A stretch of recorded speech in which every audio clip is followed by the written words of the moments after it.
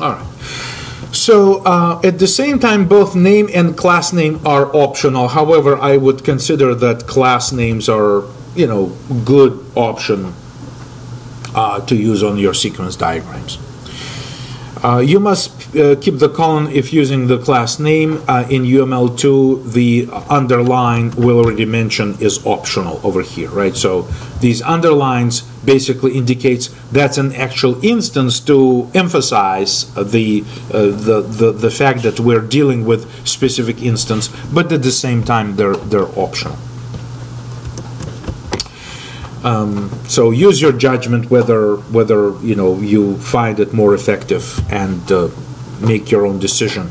Activation bars are optional in UML but extremely valuable in clarifying the behavior.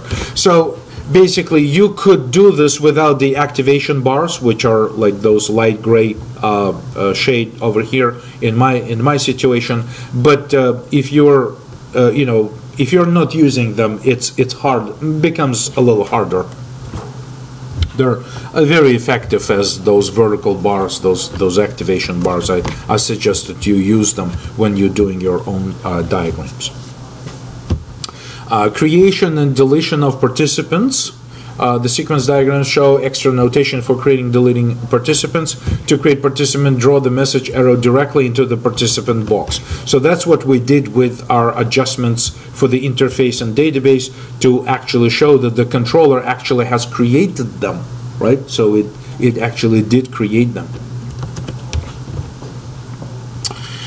Uh, message name is also optional uh, if using a constructor typically marked as new, right? So it's a it's a better choice instead of using constructor name like interface or DB over here. New is is is very effective because it's reserved word and it just tells you, look, new object is created here, new object is created here. Obviously, it's a, it's a good choice.